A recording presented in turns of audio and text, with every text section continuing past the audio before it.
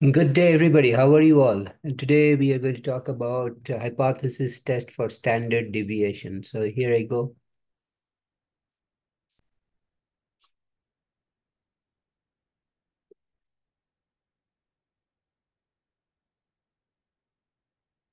The sugar content of eight batches of syrup in milligram are measured.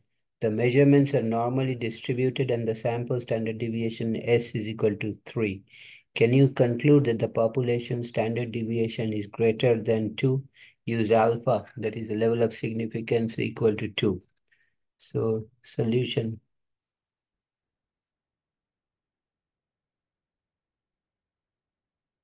So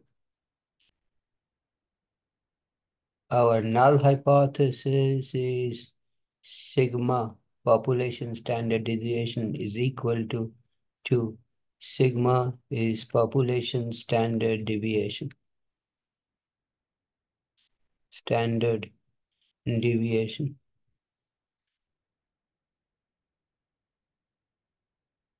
Our alternate hypothesis is sigma greater than 2 and our uh, sample standard deviation is 3. Our sample size is 8. Our alpha, which is the level of significance, level of significance is 0 0.01. Alpha is the maximum probability of making a type 1 error. Probability of rejecting H0 when it is true. When it is true. So I will walk step by step, then at the end I will summarize. So please stick around till the end. I will summarize and give you some tips on how to do this problem. So since uh, the two slanted lines indicating greater than is a edge pointing to the right. So this slanted line and this slanted line meet at an edge pointing to right. It's a right tail test.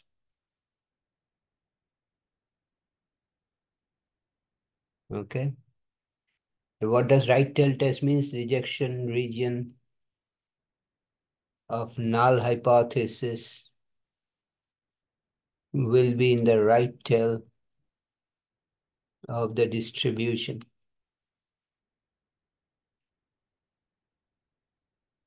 of the distribution of the distribution. Uh, let me erase this. Maybe erase this just.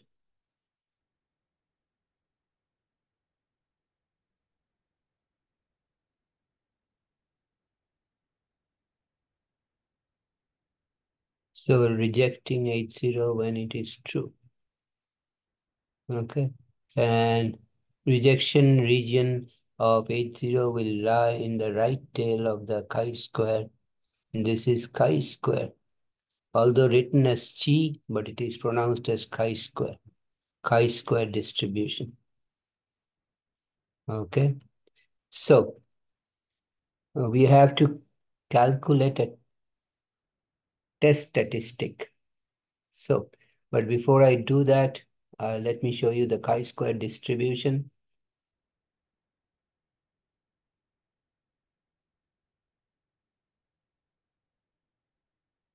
Actually starts from zero and goes all the way to infinity. Comes close to the horizontal axis, but never really touches it. Chi-square is in the horizontal axis. This is chi-square distribution, pronounced as chi chi-square distribution. Although written as chi, it's actually pronounced as chi-square distribution. As you see, it has an extended tail on the right. So it's positively skewed. And also it starts from zero on the horizontal axis. No chi-square value is be below zero, that is negative. Okay. Now each chi-square distribution associated with the degrees of freedom our degrees of freedom is n minus 1 is 8 minus 1 because our sample size is 87. So as I was saying, we have to calculate a test statistic.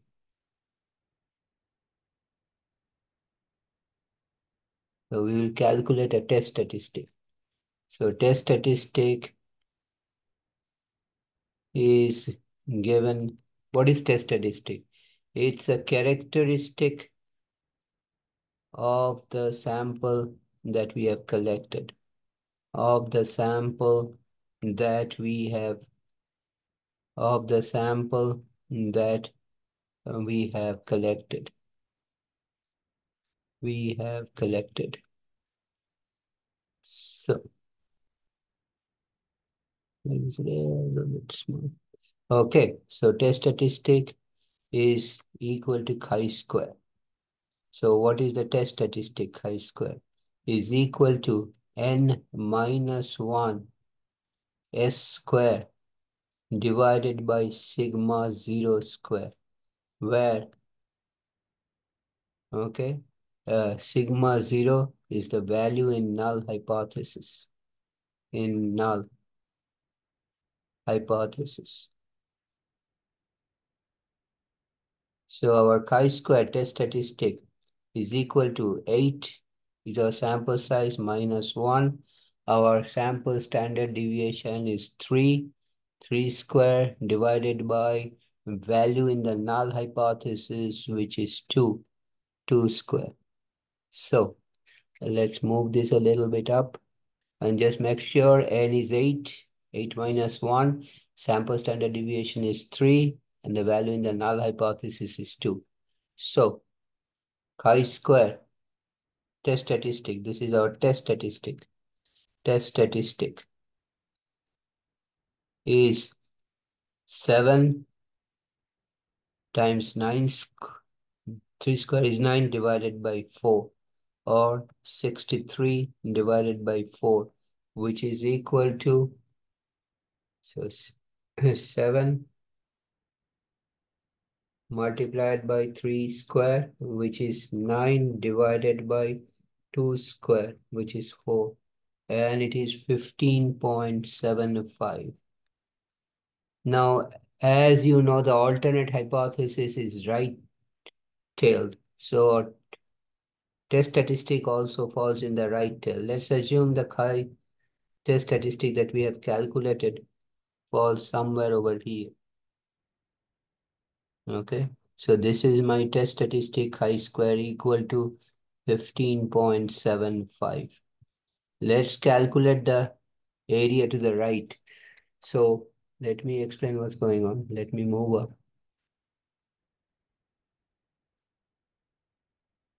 Since the hypothesis test, hypothesis test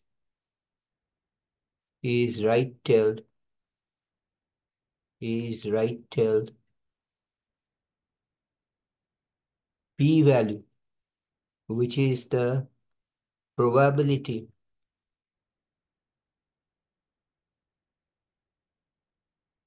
probability of obtaining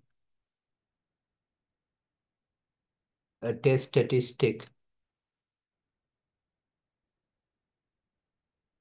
at least as extreme as 15.75. So p-value, this p-value, okay. Uh, let me put the parenthesis here and remove that parenthesis over here. Okay. So so what is the p-value? Let me move this a little bit up. P-value is the area under the chi-square curve, under the chi-square curve to the right of the test statistic, to the right of 15.75.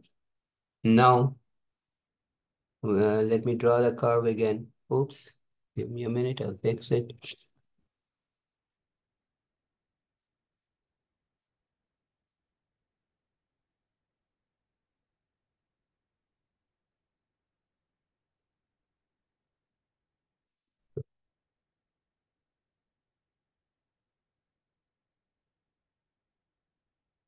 Okay, so let's uh, this.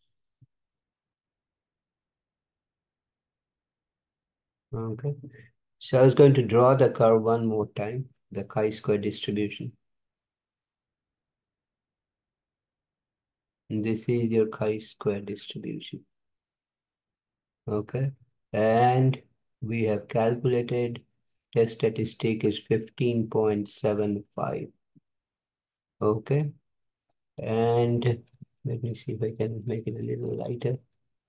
So let's do this one. Okay. So P value is the area. This is your P value. Okay. So now if you remember this curve stretches to, oops.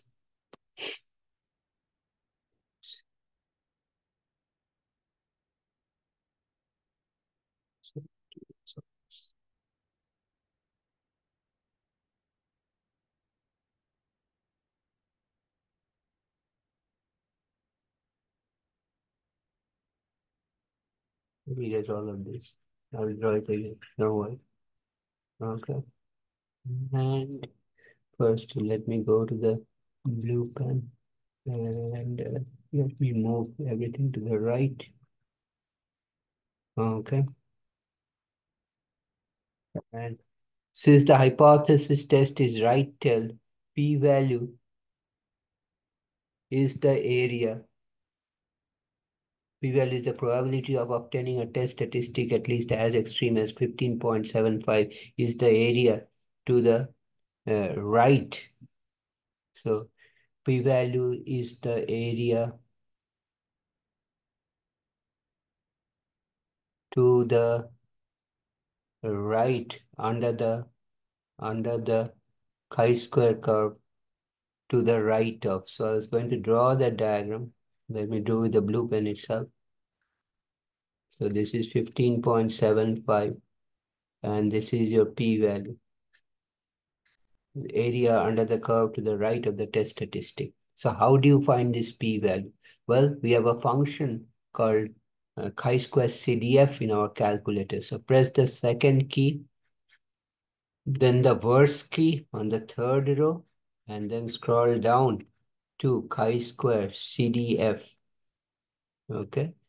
Our lower, we are starting from 15.75. Now, CDF is the cumulative distribution function. That is, it will find the area under the curve from lower of 15.75. Mm, sorry, this is not area. So it will find the area from the lower of uh, 15.75 to the upper. And this uh, curve, as I told you, this curve stretches to this curve is stretching to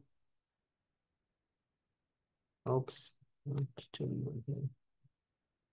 okay.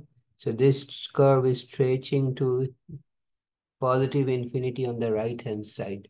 So the upper is I type 1, then I will press the second button, then the comma button. Where is the comma button? Second button is in the top left corner. Comma button is on top of the 7 button in the calculator. If we do that, then we'll get a small capital E and 99. Here E stands for exponent. What does it mean? 1 followed by 99 zeros. So my upper is 1E99 and my degrees of freedom, remember my sample size is 8. 8 minus 1 is 7. And then I go down to paste and hit enter and enter. Okay. So on then second VARS, scroll down to chi-square CDF, which is number 8 my lower is 15.75. My upper is 1. Then second button, comma button on top of 7 button gives me the E99.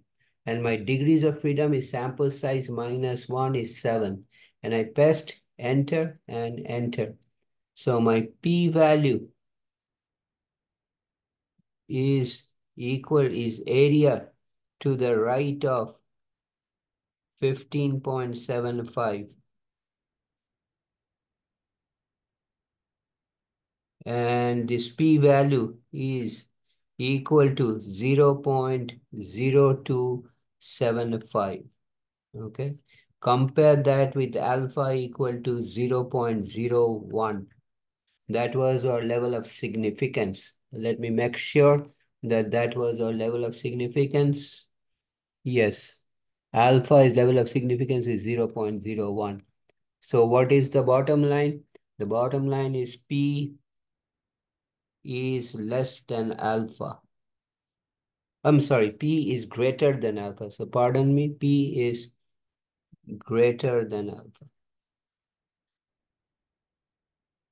Because 0.0275 is greater than 0.01. Decision, do not reject H0. Do not reject H0. Reject H0.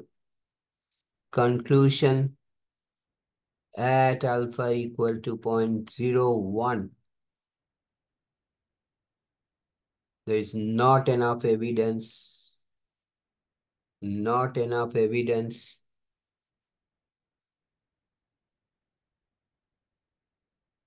There is not enough evidence to support H1. To support H1 which states that sigma is greater than 2. So we are not supporting it because we did not reject the null hypothesis. So let me walk you slowly through the steps that I have taken. So if we go to the top, it says the sugar content of eight batches of syrup in milligram are measured. The measured data are normally distributed the measurements are no normally distributed and the sample standard deviation S is equal to 3. Can you conclude that the uh, population standard deviation is greater than 2? So your alternate sigma is greater than 2, sigma being population standard deviation. It's a right tail test. So we calculate a test statistic, um, chi-square equal to n minus 1 n is a sample size times s square, which is sample variance divided by sigma 0 square. Sigma 0 is the value in the null hypothesis. So it is chi-square is 7 times 3 square divided by 2 square, which is 15.75. This is your test statistic. It's a characteristic of the sample that you we have collected. Now, because this is a right tail test, the p-value or probability value of obtaining a test statistic at least as extreme as 15.75 is the area under the curve to the right of 15.75. So we go to our calculator, we press the second button, then the VARS, and then we scroll down to chi-square CDF, which is number 8 in TI-84. My lower, I start my calculation from 15.75. My upper is 1 E. E stands for exponent 99. That means 1 followed by 99 zeros, which is a very large number on the right. That signifies infinity in the right. Degrees of freedom is sample size minus 1 is 7. Paste, enter and enter. And the p-value works out to 0.0275. Compare that with alpha equal to 0.01. P is greater than alpha. Decision do not reject H0. If we do not reject H0, then we also do not support the alternate hypothesis. So I stop here today. If you have any question, comment, please do not hesitate to write me a note. If you like this video, please give me a hearty thumbs up. I really appreciate it. And if you like this video, share with your friends. You and your friends, please subscribe to my channel by hitting the red subscribe button uh, you know, I have tons of problems solved just for you. So please do not forget to visit me next time when I'll be back with another interesting problem, interesting solution. Thanks for watching. Take care. Have a nice day.